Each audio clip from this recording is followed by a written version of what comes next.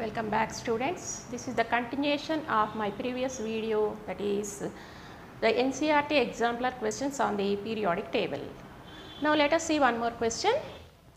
A sudden large jump is observed between IE2 and IE3 of an element. The correct electronic configuration of that element would be what? We know that the second ionization energy is greater than first ionization. The order of different ionization energies is IE1 less than IE2 which is still less than IE3 etc. Okay students, here to remove the second electron it requires a more amount of energy which is greater than first ionization energy. That means we will see a, a a gradual increase in the ionization energy from first to second, second to third etc. Now here a large jump is observed between IE2 and IE3. To remove in the removal of third electron it is it is giving a sudden jump, sudden the difference between second ionization energy and third ionization energy is a, a very huge amount means it requires two electrons we can remove easily but for the removal of third electron it is requiring large amount of energy that means large jump is shown from second to third ionization energy okay. So we can say that there are two electrons in the outermost orbit and the third electron may be present inside that inside the valence shell. So, to remove that third electron it is requiring large amount of energy. So, from this we can say that this element has two electrons in the outermost orbit. Okay.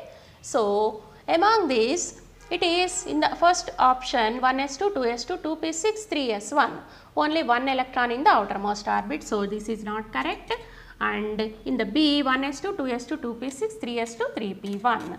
3 electrons are present in the outermost orbit. So, it is also not correct. 3 electrons can be removed from this configuration. And in the C option 1s2, 2s2, 2p6, 3s2, 3p2 there are 4 electrons in the valence shell.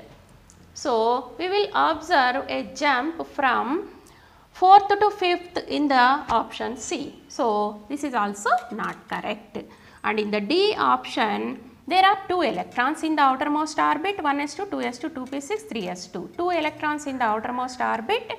To remove the third electron, we have to remove it from the penultimate shell, inner shell. So, to remove that third electron, it is requiring a large amount of energy. So, the option D is correct for this question.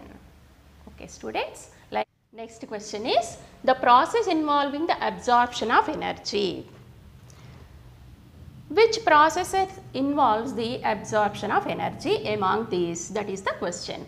And here in the options, F is becoming F minus, Cl becoming C minus and oxygen O becoming O2 minus ion and H becoming H minus.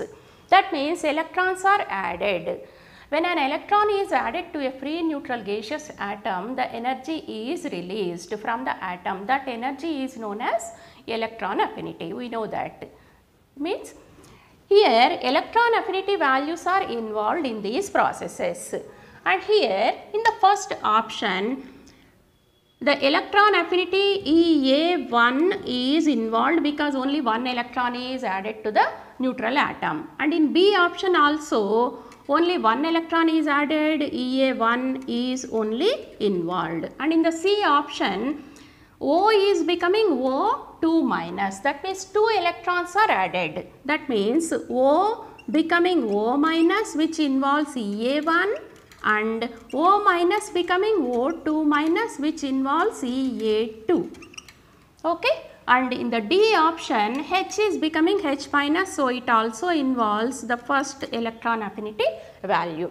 Now in this the amount of energy is released from the atoms in these three processes A, B and D processes. The energy is released from the atom. It is not involving the absorption of energy. And in the option C also in the first step O becoming O minus some amount of energy is released from the atom. Okay? And it is taking, we are trying to give one more electron to this O minus ion. That means the number of protons is remaining constant. Protons remaining constant but the electrons are increasing. Number of electrons is increasing. So, what happens? The effective nuclear charge decreases on the outermost electrons. As the effective nuclear charge decreases, the electrons will the electrons will not be attracted by the nucleus effectively. So, there develops some repulsion between the coming electrons and the electrons already present inside. So, to overcome that electronic repulsions, we have to give some amount of energy from the outside. So, the energy will be absorbed in the second process in the option C. So, option C is the correct one in which the energy is absorbed. Okay students. So, C is the correct answer for this question. Next question is, this is based on the ionic radii. Among K plus, Cl minus, Ca2 plus and S2 minus ions, what is the correct order of decrease in the ionic radii? The ionic radii, how they decrease, how these four species are arranged in the decreasing order of their ionic radii, that is the question.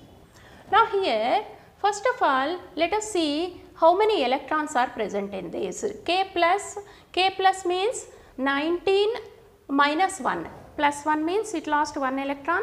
So, 18 electrons Cl 17 plus 1 18 electrons Ca 20 minus 2 electrons and S 2 minus means 16 plus 2 18 electrons. So, all these are having the same number of electrons that is 18 electrons. So, they belong to isoelectronic species, isoelectronic series. Okay?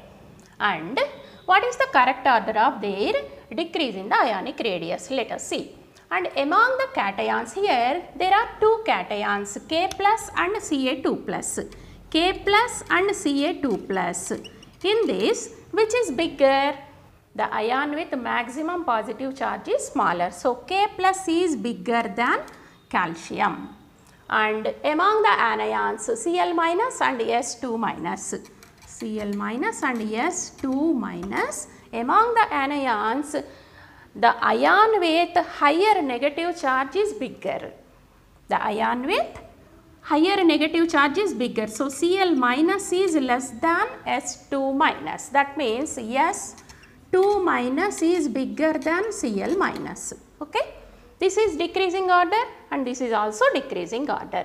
Now, let us see Ca2 plus Ca2 plus greater than K plus. Ca2 plus is not greater than K plus. So, it is wrong option and Cl minus is greater than S2 minus.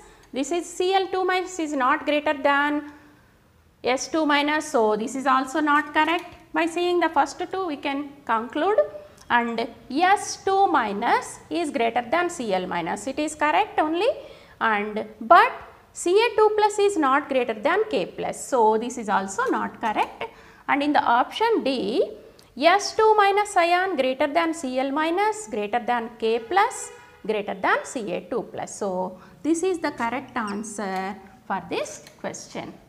Okay, students like that we have to compare the ionic radii of positive and negative ions separately and then we can combine them.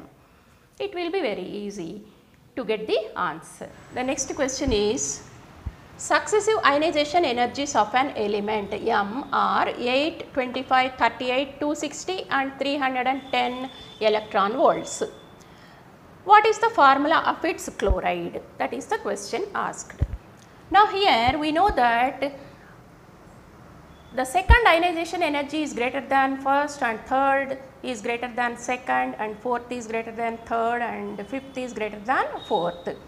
The ionization energies increase on the elimination of more number of electrons because of the increase in the effective nuclear charge. And here IE1 is 8, IE2 is 25, IE3 is 38, IE4 is 260. Now here we will observe a large jump, a large jump in the ionization energy values and IE5 is a little greater than IE4. That means we can say that there are 3 valence electrons in this element M. There are 3 valence electrons and to remove the fourth electron it should be removed from the inner orbit. So, that is why it is requiring a large amount of energy. So, we can say that there are 3 valence electrons in the outermost orbit of this element M and its valency is plus 3. What is the formula of its chloride? The oh. its formula will be MCl3. Its formula will be MCl3 because M plus 3 and Cl minus. This plus 3, 3 comes here and 1 comes here. MCl3 is the formula. So, option C is the correct answer for this question. Okay students. Next question. The IE1, IE2, IE3, IE4 of an element A are given here as 6.0, 10.0, 16.0 and 45.0 electron volts respectively. The molecular weight of its oxide. First of all, we should know what is the molecular formula of its oxide. To write the molecular formula, we should know the valency of that element A. How can we know the valency? By seeing the ionization energy values. Here, if we observe a sudden jump between any two successive ionization energies, here IE1 is 6, IE2 is IE2 is 10, IE3 is 16 and IE4 is 45. Here from IE2, IE1 to IE2, IE2 to IE3 only a little increase is there but from IE3 to IE4 there is a large jump. That means we can say that there are 3 valence electrons in the outermost orbit of an element A. There are 3 valence electrons and its valency will be plus 3 because the, to remove the fourth electron it is requiring large amount of energy. So, the removal of fourth electron is a difficult one for this element A. So, the valency of this element A is plus 3, A plus 3 and what will be its oxide formula? Oxide is we know that it is O2 minus. So, from this what will be the formula of its oxide? A2O3. A2O3. Now, what is its molecular weight? The molecular weight, atomic weight of A is given as X. So, there are two A atoms. So, X into 2. 2X plus each oxygen atomic weight is 16. We know that 16 into 3, 48. So, the answer will be 2X plus 48. It is 2x plus 48, 2x plus 48 is present in the option B. So, option B is the correct answer for this question. Next question is, the elements X, Y and Z form acidic, basic and amphoteric oxides respectively. What is the correct order of their electronegativity values? That is asked in this question. We know that most electronegative element form acidic oxide. Most En, most electronegative elements form acidic oxides. Most electropositive, that means least electronegative elements form basic oxides. Basic oxides and the one which is present in the middle forms the amphoteric oxide. So, if we know what is the most En element and what is least En element, the third one comes in between them. So, amphoteric oxide is given by Z. So, Z comes, Z should come in the middle, okay? And the one with acidic oxide is formed by X. So, X En is greater than Z which is greater than Y. X En is greater than X, Z and Y. X, Z and Y. This order is present in the option C. So, C is the correct one for this question. Okay students. So far I have discussed many types of questions based on the periodic properties. These all these questions are very useful to do the questions in the periodic table. Okay students.